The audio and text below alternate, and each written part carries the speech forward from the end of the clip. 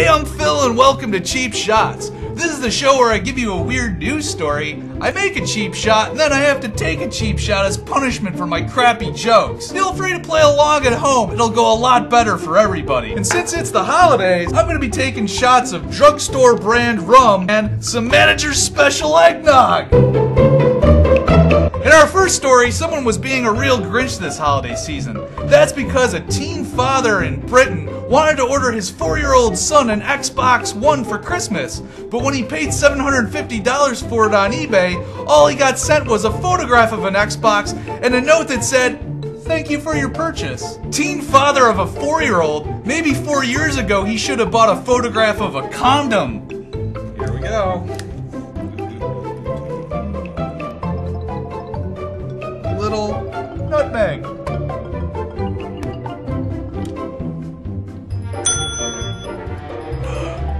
Christmas is saved! eBay did say that they would refund the swindled teen dad his money.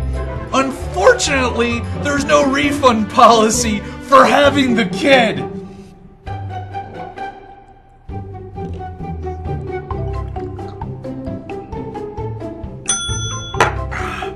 I know what you guys are thinking. That looks like some eggnog. To be fair, the eBay listing did say that there was a photograph they were selling. Maybe next time the teen dad will pay closer attention to details, like the fact that you can buy an Xbox One for $500, not $750.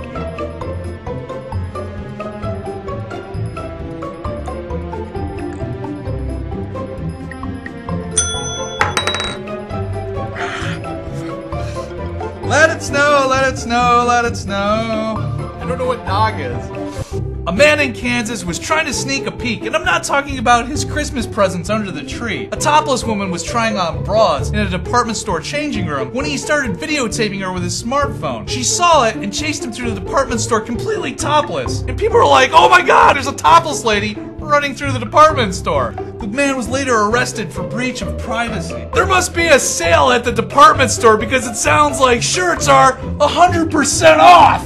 Uh,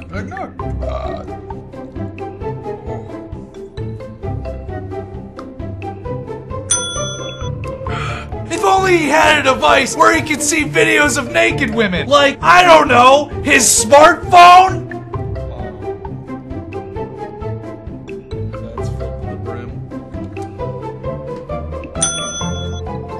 Give him the benefit of the doubt. Maybe he was just shopping for a couple of knockers.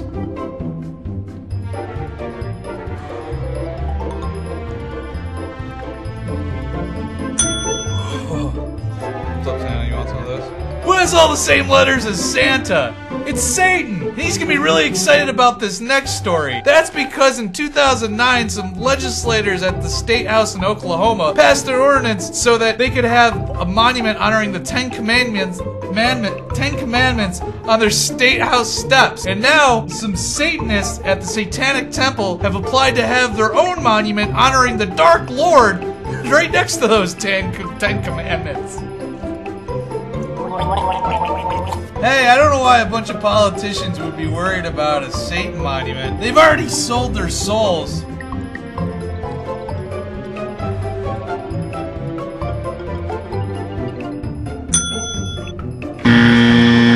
Santa's feeling a little too jolly. So I'm gonna have Santa's little helper finish the shot for me.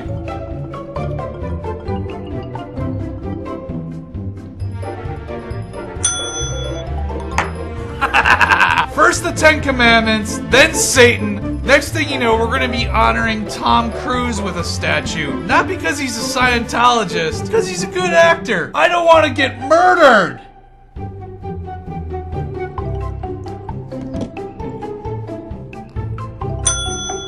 Read these comments.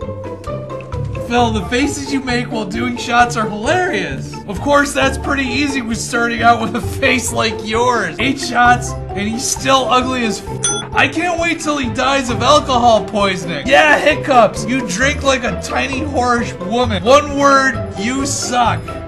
That's two words. Hey, Santa's helper! Give me the Mountain Dew pour of eggnog! Hey, happy holidays, everybody! This has been Cheap Shots with Phil Haney. Does it smell